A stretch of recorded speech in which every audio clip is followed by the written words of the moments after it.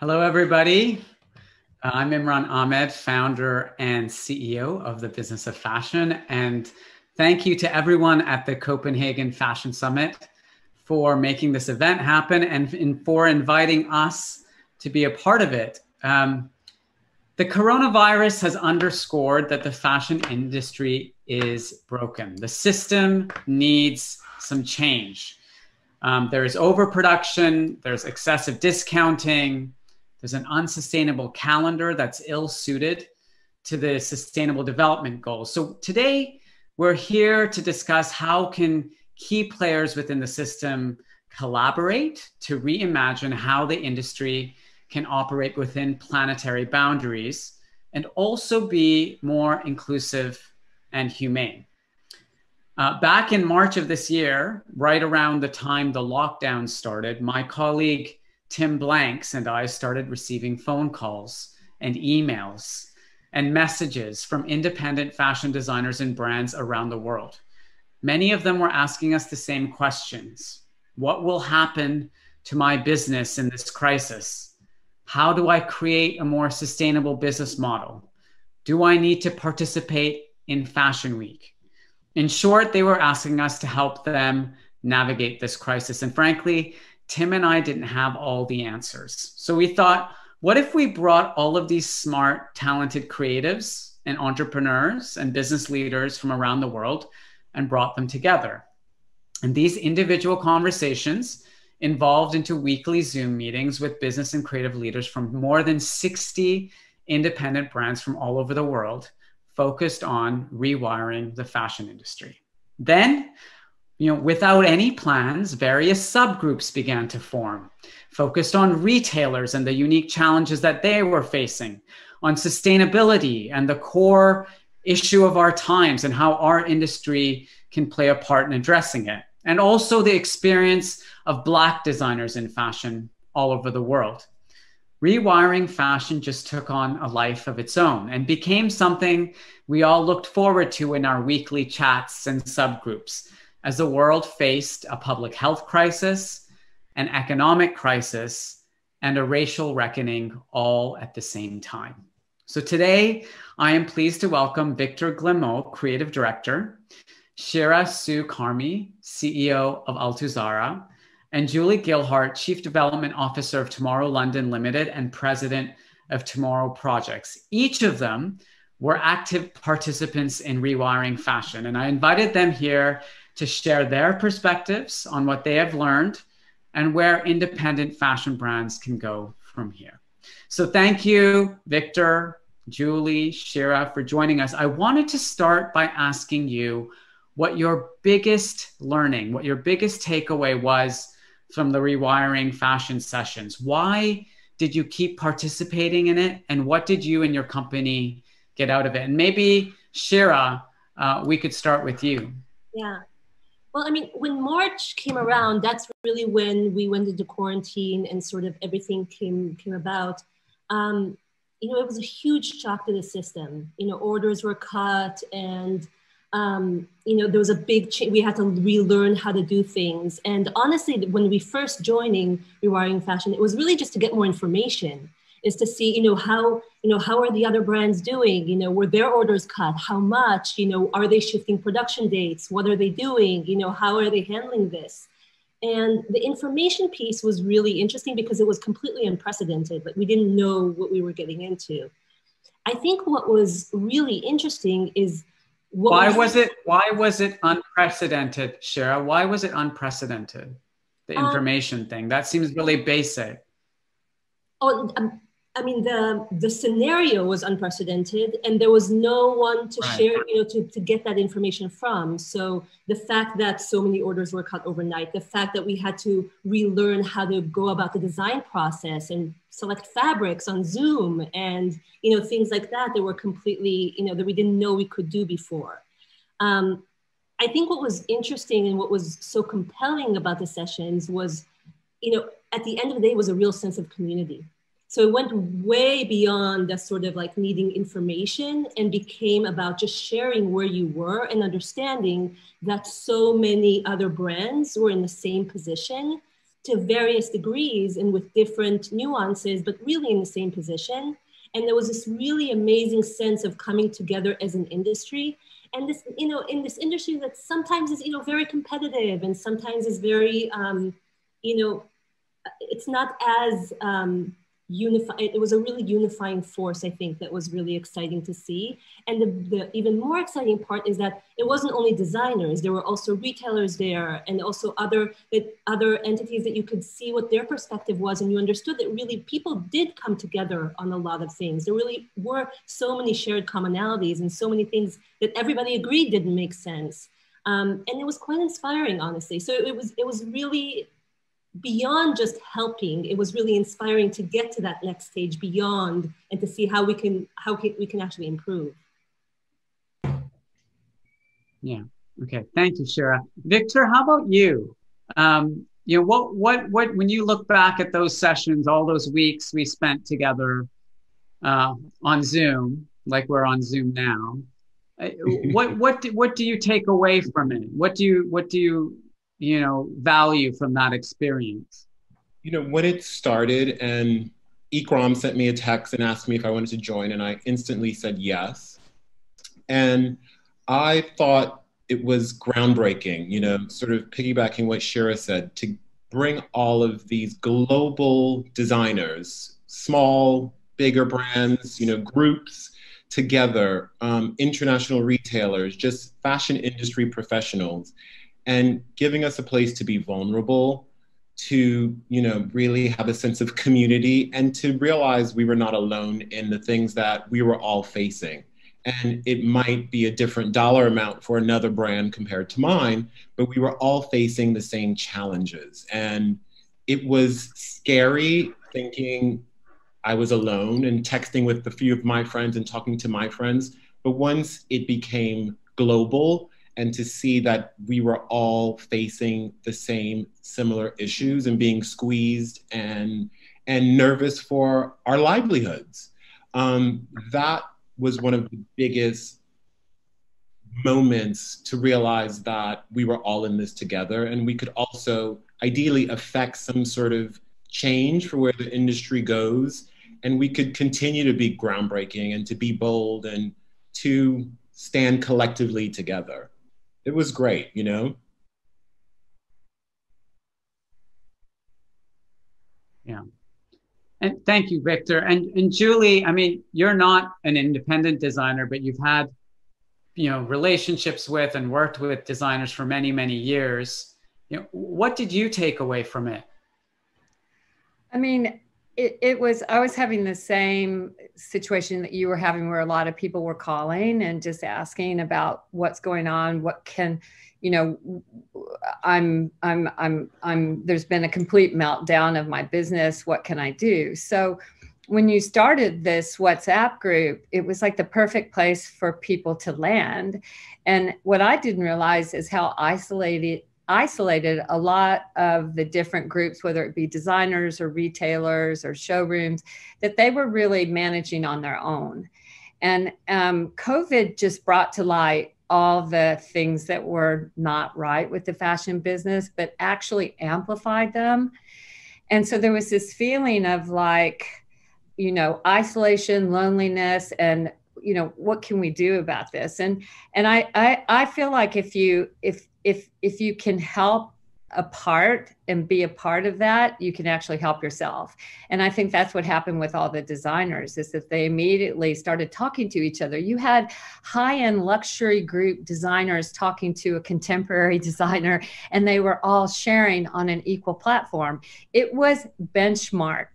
And then and then the retailers came together and then some showrooms came together and then the subjects became t- together like with Victor started IN THE BLK for just black designers. That would have never happened from COVID if it hadn't have been for COVID. So I think I think what happened, and then we remember that there was the major looting in New York with with, with a, a, lot of these designers losing a lot of their inventory and sometimes their stores. So all of a sudden, the support group had been established. So and and it was not you know it wasn't directed you you created the platform but it was all self-directed. It all of a sudden became a real working community.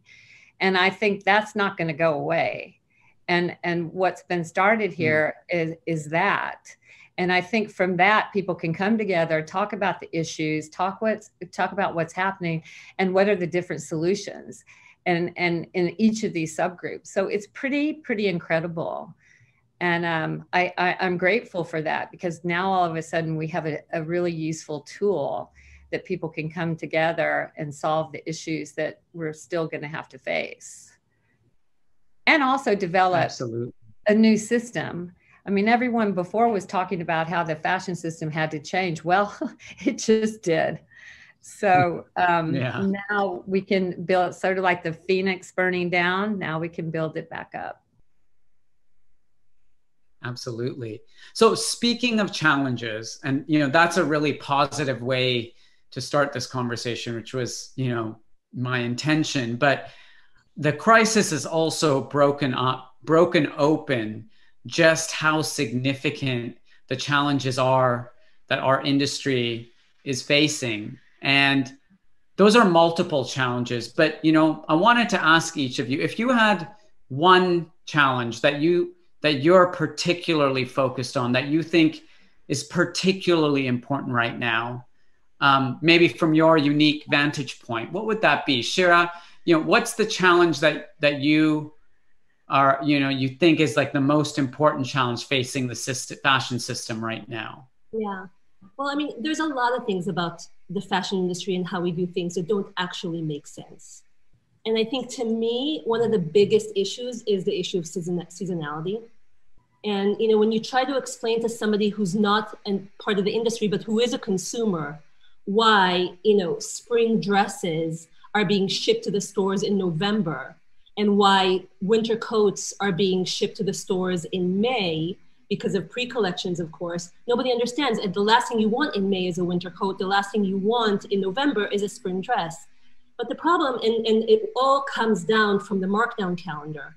So basically, when the markdowns get closer and closer to the shipping dates, and that, you know, historically, a lot of it was the American department stores with the November, you know, markdowns for Black Friday and things like that. But the the markdowns are becoming more and more, um, you know, again closer to the shipping dates of the actual season. The retailers then want the actual deliveries to be earlier and earlier. And what you see is that the delivery calendar and the actual weather and the actual demand from the consumers make absolutely no sense. Not only that, but because you push the deliveries early and earlier, what you have is pre collection. So you have the pre spring collection, the pre fall collection, which are actually much larger from a volume perspective than the traditional collections that you see in Fashion Week. Um, because that is the longest selling period on the floor at full price, which is what the retailers are wanting. And what you see is A, that now you need four showrooms a year, four fashion shows a year sometimes, you know, four travel traveling months a year, which is completely unsustainable, both from a work perspective and a schedule perspective, and then it's completely unsustainable from a from an environmental perspective and the impact that it has. Um, on the one hand, on the other hand, the amount of creativity is usually reserved to the actual collection, to the spring and to fall. But you see all the dollars come in on the pre-collections, which are much more safe, much less interesting, a lot of times, you know, much less um, exciting from a creative standpoint, which is really damaging to the design process as well. So, you know, obviously, you know, markdown dates and regulating them and you know figuring out a system that works is a very sensitive topic especially in the us you have issues of collusion and you have issues of price fixing. And those are legal issues that we don't want to um, to step into. At that but at the same time i think everybody across the industry and that includes the retailers and that includes the brands you know really understands that the system that we have right now is just not working and if we can get a more um, pushed yeah. back markdown calendar, we can get to um to a, um, we can get the industry to a place where it's a lot more um, sustainable, sensible, um, creative, um, and a lot of good things will flow from that. Yeah. So you've raised a lot of really important points there, Shira. I think, you know, the one of the ways I tie it all together is that actually because of all of this inefficiency, we create a lot of waste. You know, we create a lot of um, wasted product. You know, everything goes on sale. Who knows where you know things actually end up? There's a lot of discounting, which is obviously damaging to the brand, and fundamentally, it makes businesses less profitable. So, so Julie, that's where I'm going to turn to you. You know, if Shira's big challenge and focus has been like this this unsustainable calendar, you know, the drops and deliveries that don't make sense. You know, for you, what's the biggest challenge in the industry right now? Well, I I have to say is staying in business. I mean, we have to really think about that because there's so many businesses that are just right on the edge. So we have to really look at that and we have to fight for the just the little bit of things that can help people keep in business. So that's the immediate thing that's like staring you in the face every day. Um, but secondly, I think you, we have to think of a different way of approaching the fashion business, and we have to design into this and uh, what is a design uh, designers for instance which i'm always talking to they have to think differently about designing into circularity designing into non-waste designing into using already uh, existing materials. So it's a new way that hasn't been considered creative necessarily but a creative person can make anything become creative and inspiring inspiring and imaginative. So if you think about it if we can keep our most creative people in business then and create an atmosphere that's without discounting without you know this sort of exclusivity i only want your collection you can't sell to other people that's got to go away. And we have to create this environment where they're not always having to create collections four or five six times a year and can think about how to design into a, a, a, more creative way of being responsible to the planet.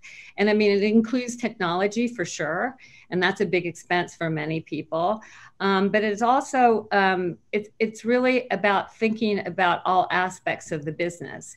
And I think what we really have to go back to, and it's a it's a it's on repeat all the time, but the big elephant in the room still is consumption. And so until we figure out how to be profitable without driving mass consumption, we're going to be back in the same place that we always have been. So, what that, if you think about it, like think about if you flash back to five, six, seven years ago, we never thought about renting clothes. We never thought of buying luxury um, at resale.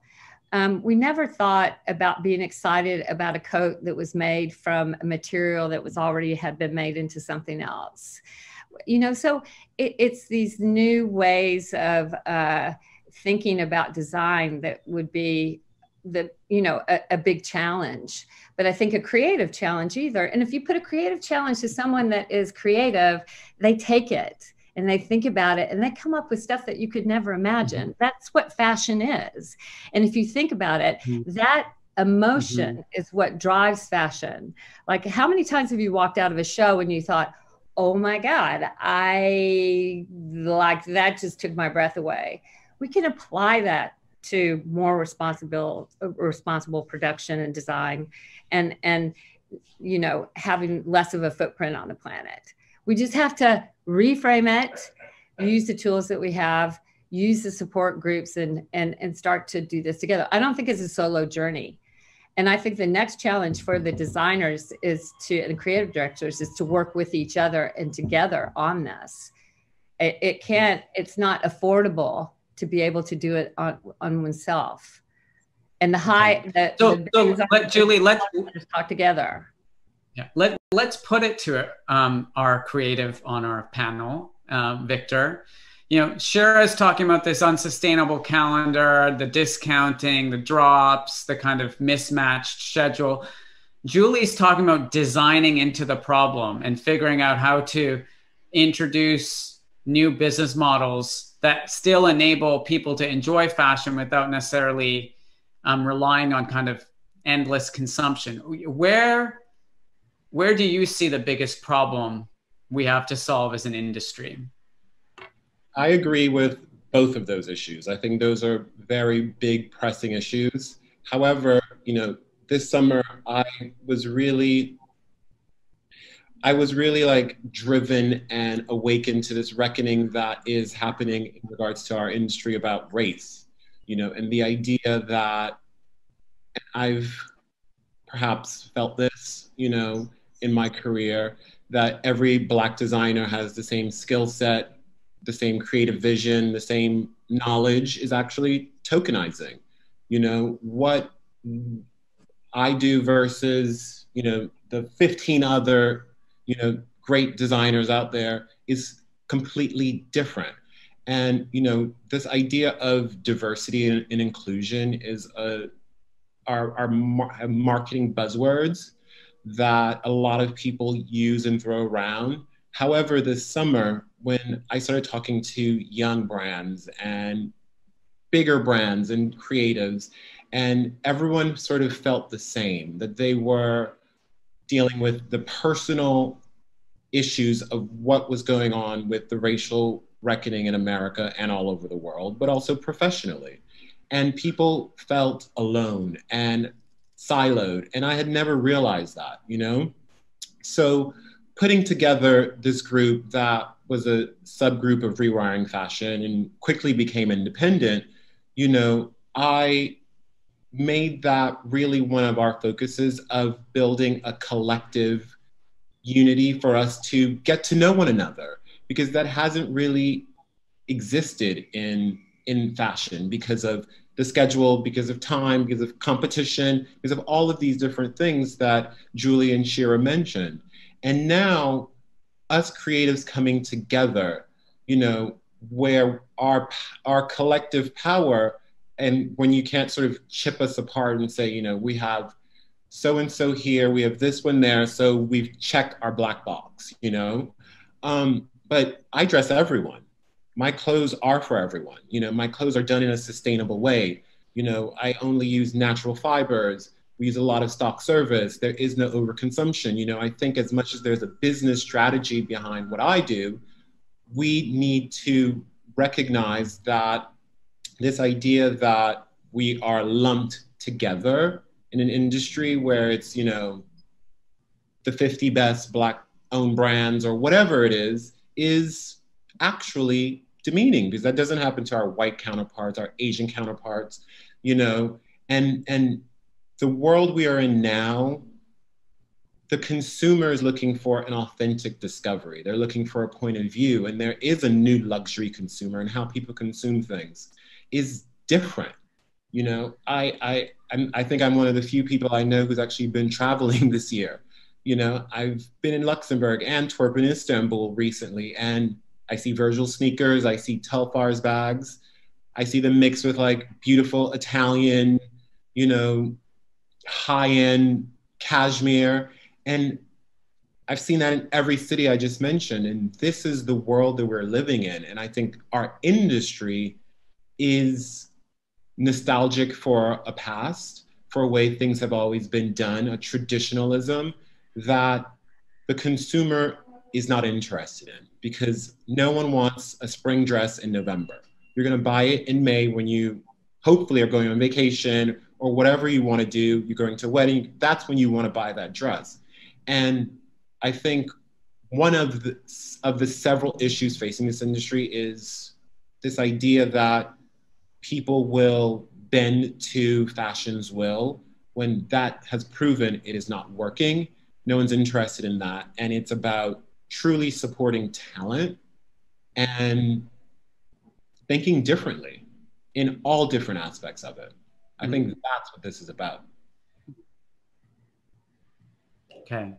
So, you know, adding up you know a lot of what each of you has brought to the table today really kind of you know encapsulates the the variety of the discussions that we were having during rewiring fashion. But the, the thing that i take away from all of you is the role of collaboration is the role of you know putting down these walls and artifice and you know divisions that our industry has kind of propagated for years whether that be you know Condé Nast versus Hearst or LVMH versus Kering or one designer versus another designer or one group of designers versus another group of designer or a big department store and another department store. And so for me what was so revelatory about rewiring fashion and the way it happened was that actually by coming together and sharing information and collaborating, it's almost the only way we're going to be able to get through all of the problems that you guys have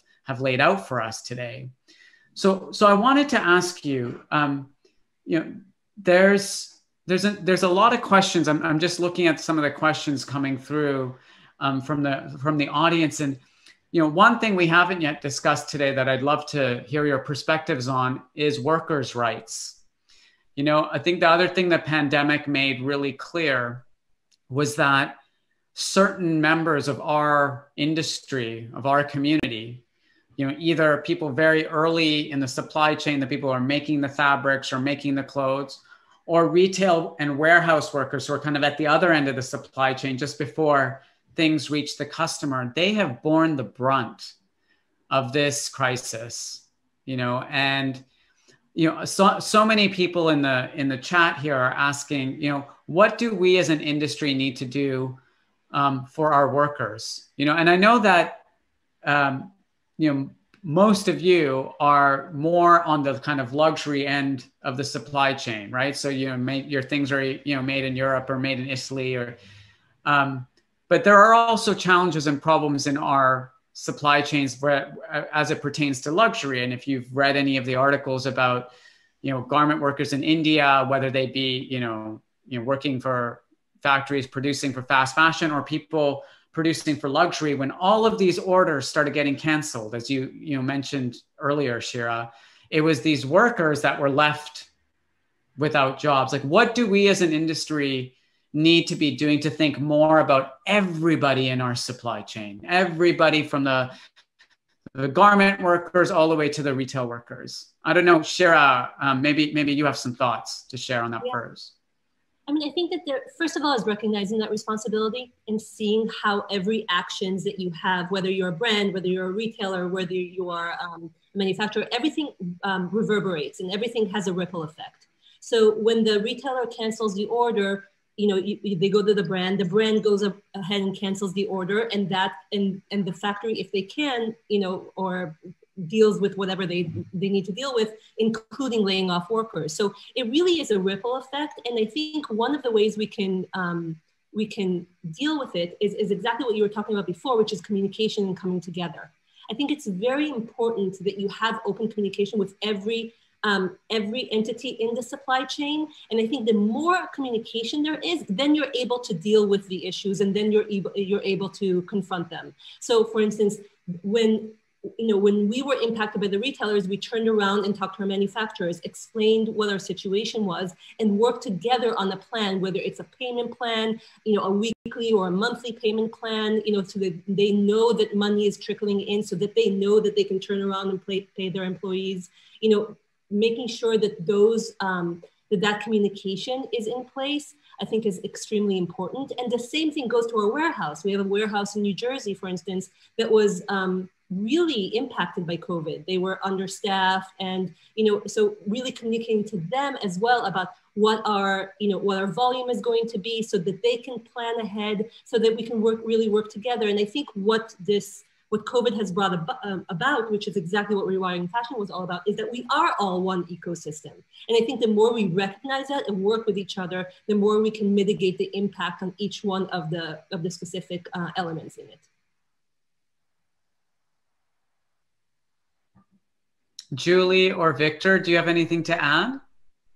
Well, you know, for me, as someone who started my brand really focused on a category, I, I really think it's about knowing who your partners are at every level, whether it's your warehouse to your freight forwarder to, you know, everyone in, in, in your supply chain, your, your mills, your fabrics, everyone, because then you can actually have those conversations honestly. And, you know, I was lucky where I was able to pay every single person that I worked with through, you know, grants, through, you know, other stimulus things. And that was really important to me. And the transparency of saying, you know, we're going to pay you on this day at this time when this comes in, that matters. You know, when it was April, May, and there was so much uncertainty. And for me, I've always tried to do that in terms of how I operate my business because I just feel that's the way I want to be treated. You know, we had really frank conversations with retailers. We pulled out of people from the very beginning that were not proper partners, um, or I felt that we're not proper partners. And now we're actually talking to those people again and act, having better conversations for the future that I think could be really beneficial for them and for us. So I think it's really about being clear about what your goals are and how you want your business to be perceived and how you want to be perceived as well because we're all in this together you know if one part of this crumbles it all crumbles and and i'll never forget i saw something where like Dries Van Noten has someone in India who manages all of his like embroideries and all of that. And that's the type of idea that has to go into every part of your business, pre-COVID and especially, mm-hmm. you know, during and post. Mm-hmm. Yeah. We've had another question come through, which I think is a really important one to address. And um, Julie, you know, mentioned that you know some brands might not survive this crisis. It's kind of the elephant in the room. Um, and as government support, you know, through furlough schemes and other, you know, protection schemes begin to kind of be wound down, um, some of the support that businesses have had relied upon to kind of survive or at least get through this initial phase of the crisis is no longer going to be there. So, you know, what are your views about the need for the fashion industry you know basically to have fewer players that we're going to have you know companies that are just not going to make it through this crisis. Is that a good thing? Um, or is it is the industry weaker for it? I don't know julie if you have um, any thoughts on that to begin.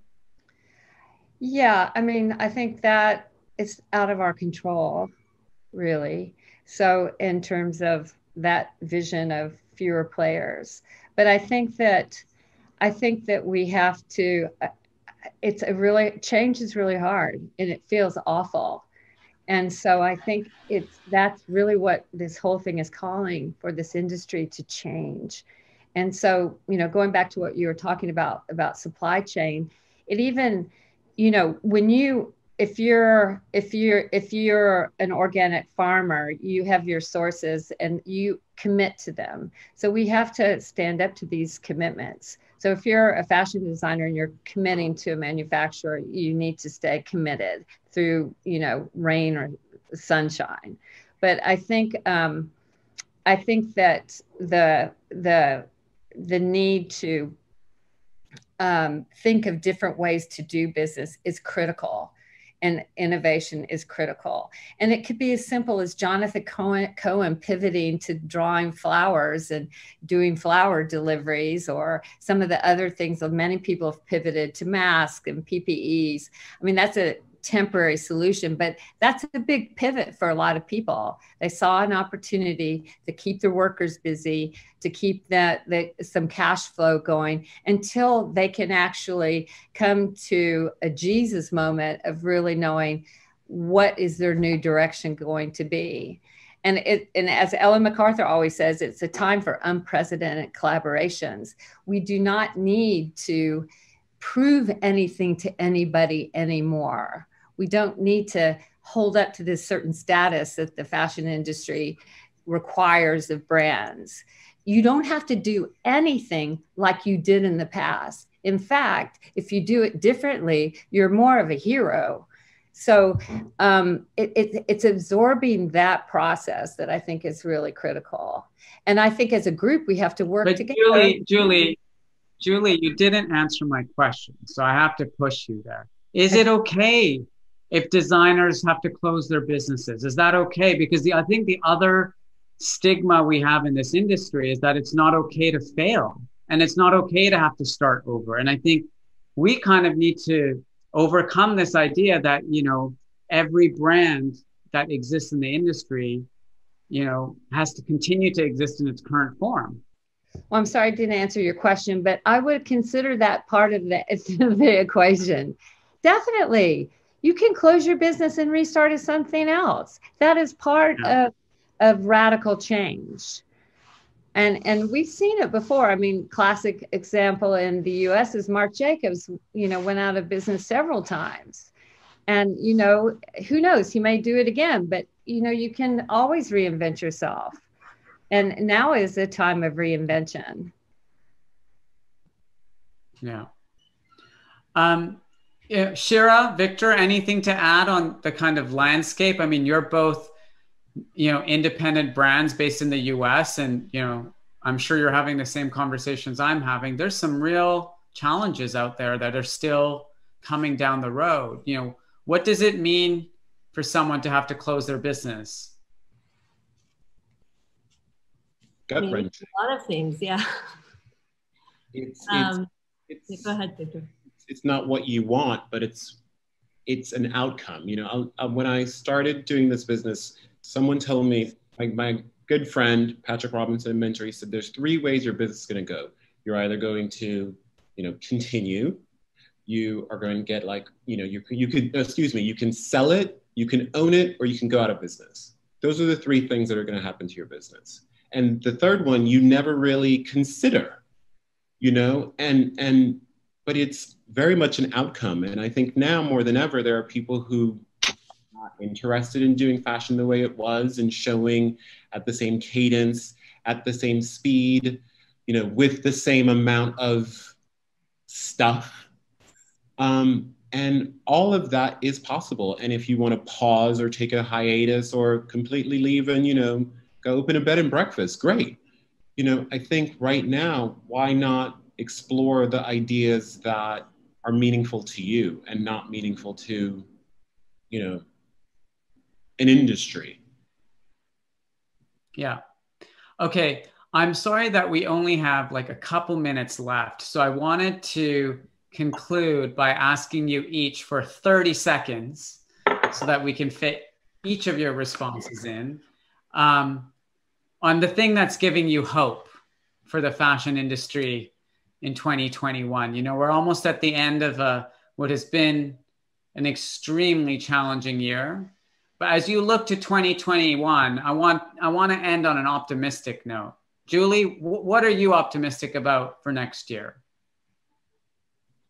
I, am optimistic that I think that industry is beginning to feel like the new cool could be planet over profits. Um, that just sounds right right now. And but it's not at the expense of creativity and imagination or diversity and inclusion. Um, that we're thinking first about the planet and then we're thinking about how to make money. And I think that's a big shift. And I'm hopeful for that. Indeed. Okay. Shira, as you look ahead to 2021, notwithstanding the challenges that might be in the path ahead of us, what are you optimistic about? I think that businesses are doing what they need to do. I think they're cutting costs. I think they're getting more efficient. I think they're focusing on their customer and what their customer actually wants. And I think that those businesses that can do that will be much better off for it on the other side of it. They'll be running tighter ships, and um, and and honestly, the, the end consumer and the environment will be better off because we'll be making less product, hopefully selling it full price, and um, you know, and getting further ahead. Okay, Victor, uh, I'm going to leave the the last words here for you. How how what makes you hopeful um, for next year for I'm fashion? I'm, I'm a hopeful person overall, but for me, I think it's really about, I hope we can dive into the unknown head first. I think it's far more exhilarating and financially rewarding as well. Okay. Um, well, I want to share what makes me hopeful um, before we conclude. And, you know, I have to say, you know, when I first came into this industry, everyone kind of warned me, oh, you better watch out. It's a really cutthroat industry. You know, everyone's everyone's always out to one up the other person. And I have to say, like, you really get this, you know, they say you get this sense of someone's character on how they behave during a crisis.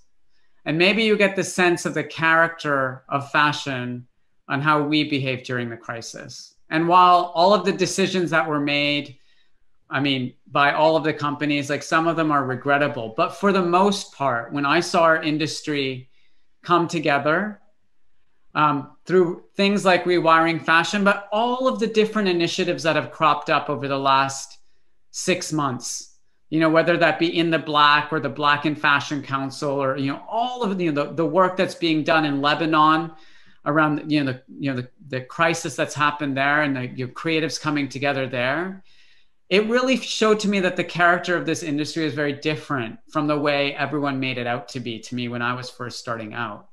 And so when I look to 2021, I think we're going to need a lot more of that spirit and that that energy and that intention of just letting down all of the artifice because there's one thing true is like everyone in the industry while they behaved during this crisis in a very collaborative way you know as julie said they pivoted to ppe and you know hand gel and hand sanitizer and all the things that we needed um, for too long i think our industry has had too many false conversations there's been too much artifice in it and so what I'm I'm hopeful for is that we'll collaborate more. And what I what I'm hopeful for as well is that you know we can just all be ourselves in this industry because that that way um, we can find out where everyone else needs help and we can help each other.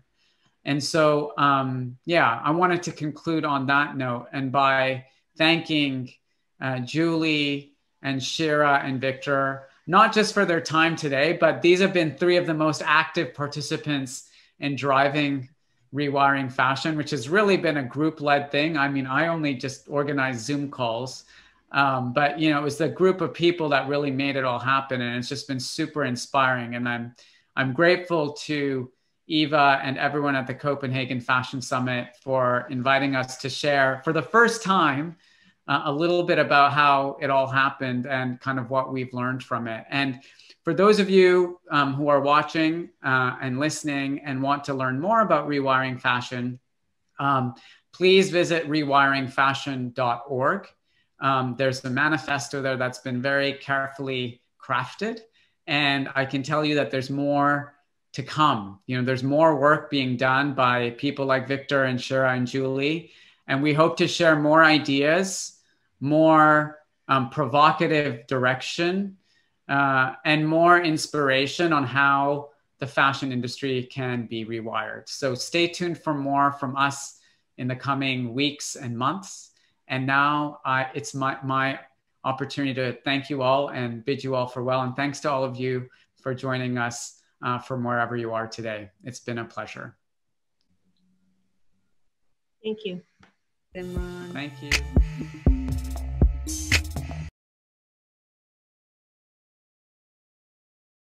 That was all from my part. It's been a pleasure hosting the CFS Plus this year, although almost all alone. I'm very impressed with all the visionary statements that has come from many of our industry leaders and all the bold commitments, but I also have to flag that time is still of essence.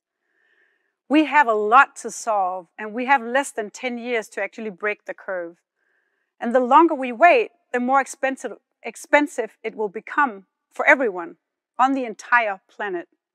I will make this one commitment to you all, then myself and my team will work tirelessly to do our effort in creating more resilient business models that will encompass the needs for our planet's boundaries and also preserve social justice.